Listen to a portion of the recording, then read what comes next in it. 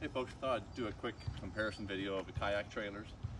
We've got a Right On trailer here we bought three years ago when we first got into kayak fishing. Uh, we put our money into our Hobie kayaks and didn't spend a lot of money on the trailers. So after three years of trying to get this on and off, we decided it's time to trade up.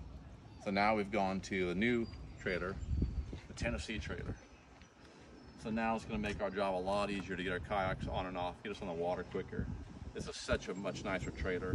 We had to put foam on the Right On, small little tires. It's not a great trailer, but did the job. Now it's time to trade up. Now with the new Tennessee trailer, the swing away tongue, padded rails, hook mounts built in. Uh, just a great, great trailer. You can see the great wheels, which I really like those because they kind of match the wheels on my truck too. But folks, if you're looking for a trailer, I'd highly recommend the Tennessee trailer for your kayaks. We got ours at the Dugout in Marietta, Georgia. Fantastic shop. Or you can reach out to Tennessee Trailers directly.